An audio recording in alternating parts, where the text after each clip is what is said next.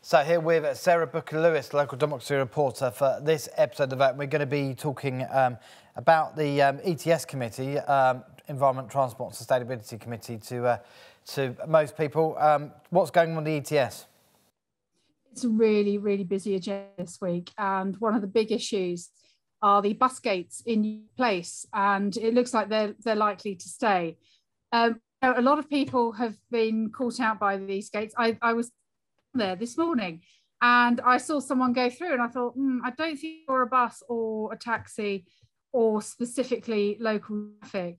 Um, it, it's been quite controversial. A lot of people have been caught with this because the road layout has changed as part of the Gardens project. Yeah. And uh, yeah, people, I think first um, month or so, there were nearly 5,000 fines given out to people who had driven through the gates.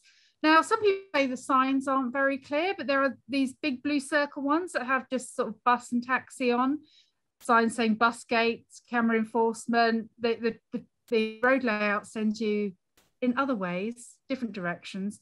So, so um, yeah, in, in the early days, I can understand why people got these warning notices, but uh, now it's it's been embedded for more than a year, and people really should know you don't drive along York Place. Yeah, and as we know from the council, I mean, once something's in place, it's quite hard to get it removed anyway. If it's a cycle lane, if it's, you know, a bus gate, it's it's going to be tricky. So people are just going to have to get used to it, aren't they? Yeah, and and this this section of bus gate really it, it fits in with with the road layout. It uh, works well.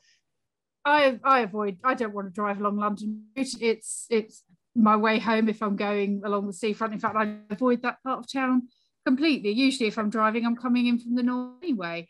And the um, London Road is very much a sort of bus-led area now. If you're if you're crossing town and you need to get to the A270, then yes, you cross over there, but it, it's it's not necessary to drive or, or go along the other uh, Lewes Road side. So yeah. I, I, really think that, that that will go through tomorrow. There's there's a few experimental traffic orders coming up actually, and it's a lot of the work that was carried out early last year. Some of it is COVID related, and this particular one, of course, is Valley Gardens.